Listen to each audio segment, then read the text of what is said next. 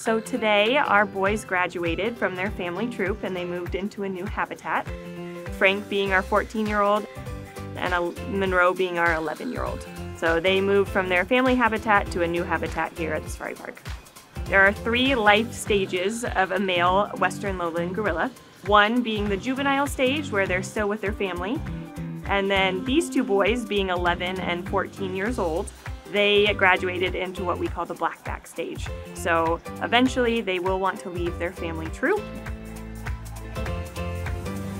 Working with Western lowland gorillas, it's all based on trust. They have to trust us, we have to trust them.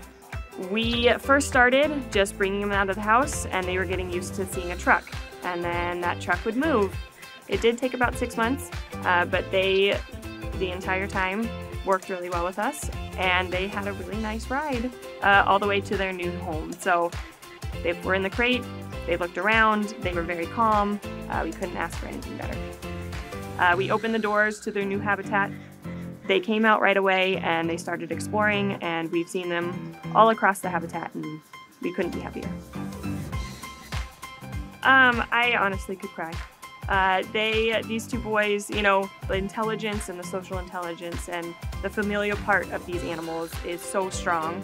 And watching them be so strong to be able to move away from their family and see that positivity the second we move them into their new home, um, I couldn't be more excited. Uh, it's a good space for them. My team and I are very, very excited.